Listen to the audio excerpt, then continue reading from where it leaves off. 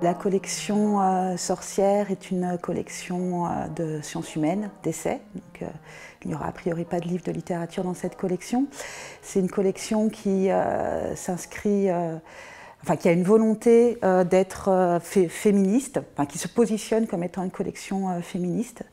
C'est-à-dire qu'elle veut faire entendre les, multiples voix des féminismes qu'on a peu l'habitude d'entendre en France pour diverses raisons historiques etc. Et donc, euh, voilà, moi j'avais ressenti le besoin assez fort de trouver des textes euh, féministes que je ne trouvais pas. Donc, euh, comme souvent, les collections viennent d'un manque. c'est parti un peu de là. Ensuite, je pense qu'on vit une période complexe et complexe et aussi assez réactionnaire sur des thématiques comme le féminisme, l'homophobie, toutes des questions qui sont des questions d'actualité forte ces, derniers temps, que ce soit en France, en Europe, où euh, l'année dernière, l'Espagne a failli quand même euh, interdire euh, l'IVG, et au niveau mondial, puisqu'on voit quotidiennement la situation qui est faite aux femmes, les violences, etc.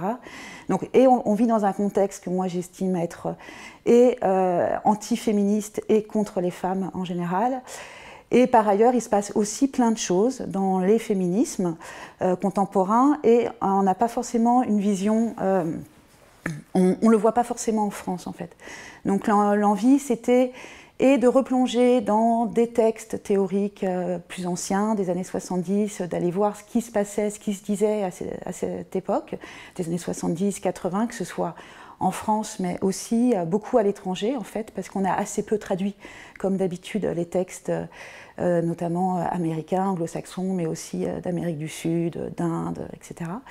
Et donc de revenir sur des textes de, ces années-là, donc de s'ancrer dans une filiation avec des féminismes, de, ce qu'on appelle les féminismes de la seconde vague, et par ailleurs donner à, entendre aussi des voix contemporaines euh, donc voilà, c'est pas simplement une collection historique, c'est une collection qui veut se faire croiser et une approche euh, historique de, textes plus anciens et en même temps une approche vraiment contemporaine parce que l'objectif est un objectif euh, politique de changement de société qui prendrait en compte la réalité, les questionnements féministes au sérieux dans, ce changement. Donc c'est une collection féministe et politique qui, euh, qui, va vers un, qui désire fortement un changement de société.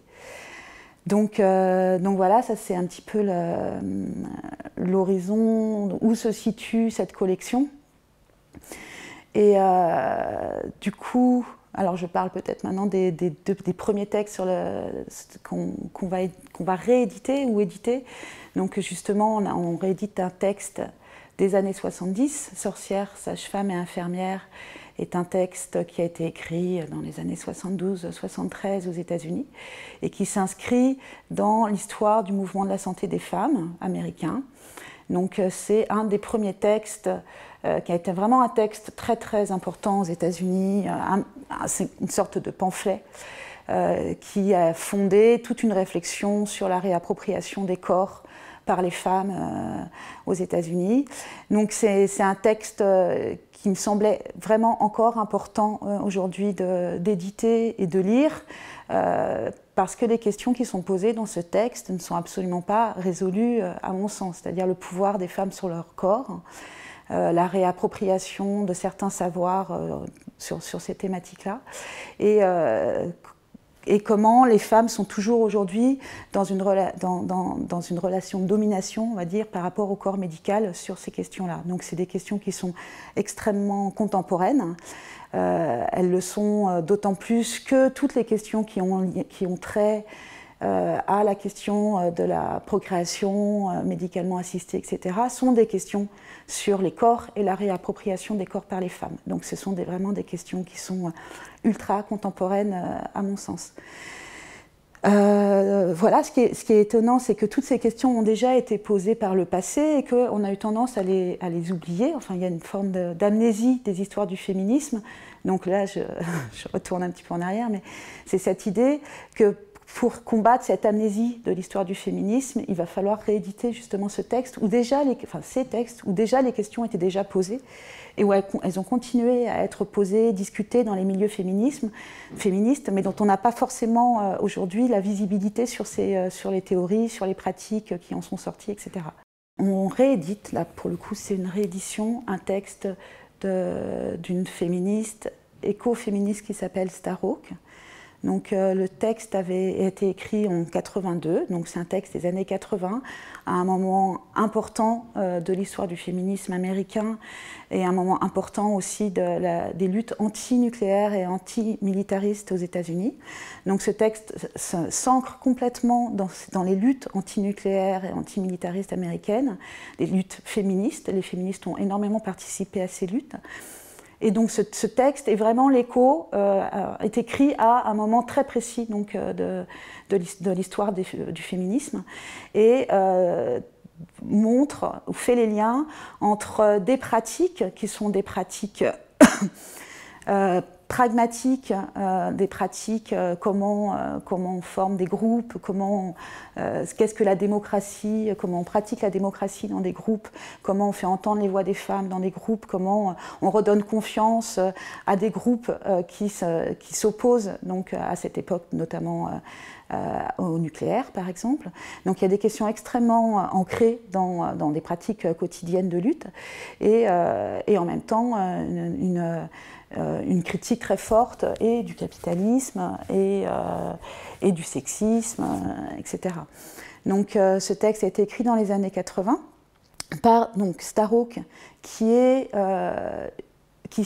qu'on peut définir comme étant une écoféministe, mais qui à, l'intérieur de l'écoféminisme, il, il, y a plusieurs familles, on va dire, et elle, comme Vandana Shiva, euh, fait partie du courant spiritualiste ou spirituel de l'écoféminisme. C'est-à-dire qu'elle s'est intéressée, avec les groupes de femmes avec lesquels elle, euh, elle, était, à la question de la spiritualité, mais la spiritualité sous un angle féministe. Qu'est-ce que ce serait qu'une spiritualité féministe?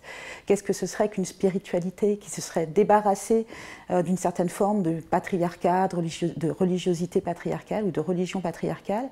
Et donc c'est ces questions-là, ainsi que les questions pratiques qui vont avec, quelles sont les pratiques liées à cette spiritualité féministe qu'elle euh, pose, qu'elle expérimente avec euh, plein de femmes à cette époque. Hein, elle n'est pas du tout seule dans, euh, dans cette expérience-là.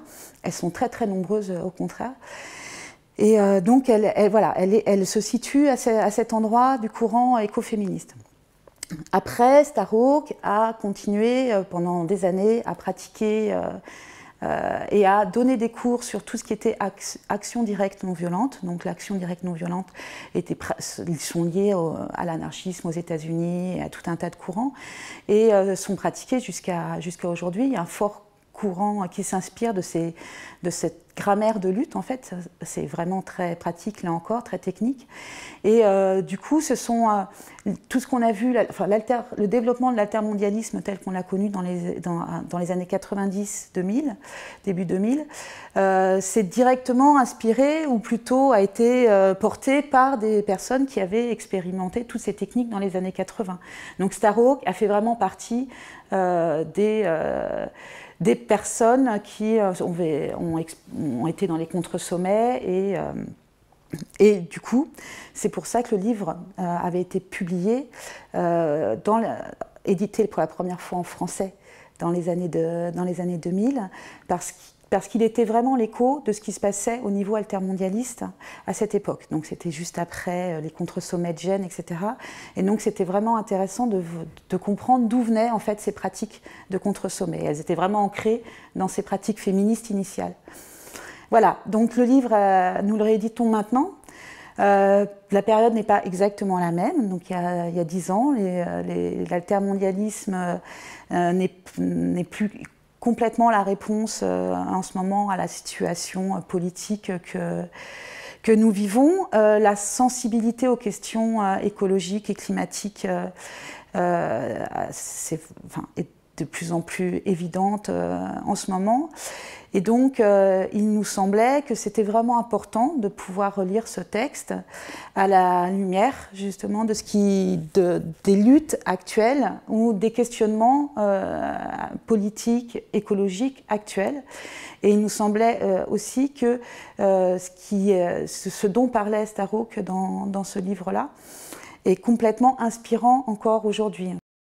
On a bien conscience que l'écoféminisme euh, comme le mouvement pour la santé des femmes euh, dont parlent euh, les auteurs de Sorcières, Sages-Femmes et Infirmières, sont des mouvements féministes qui ont eu assez peu d'écho en France dans les années 70 pour le mouvement pour la santé des femmes et dans les années 80 pour l'écoféminisme. Mais l'idée, justement, c'est de pouvoir faire entendre ces voix en prenant le pari que ça que, ces voies-là vont nous aider aujourd'hui euh, à trouver euh, euh, des, angles d'attaque, des prises sur les questions politiques contemporaines et les questions féministes contemporaines.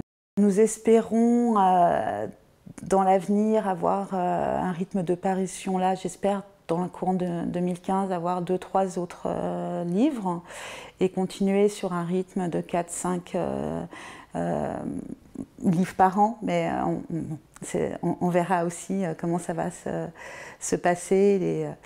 Voilà. Et par ailleurs, l'idée, c'est d'avoir justement de, continuer à développer cette ouverture sur, sur les féminismes d'ailleurs, on va dire.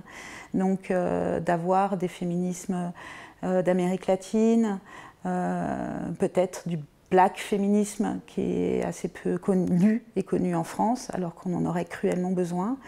Euh, mais ce sera aussi ouvert à des, thématiques euh, lesbiens, euh, éventuellement queer. donc en fait, c'est assez large. L'horizon, c'est pas uniquement l'écoféminisme, bien sûr, mais à chaque fois avec une, une exigence politique forte dans, dans ces livres.